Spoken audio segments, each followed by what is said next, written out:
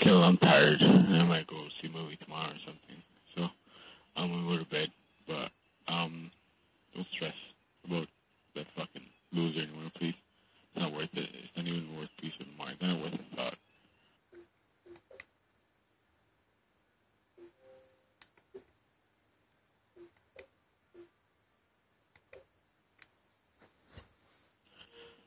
But yeah, I'm gonna go sleep now. I'm tired.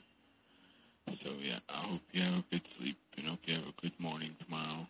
So yeah, good night, Dakota Cree. Peace out.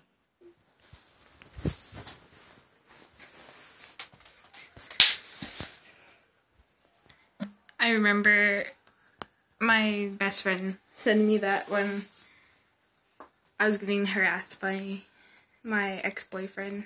It's like threatening to kill, whatever, being a fucking psycho. And then I remember dealing with it with the cops and like, like all of it. And then I come back downstairs to my Xbox, and then I came back to those messages, and then I remember like being really happy, like feeling way better.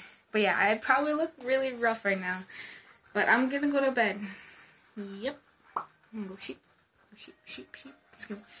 But um, yeah, I'm thankful for my best friend advice. Good night.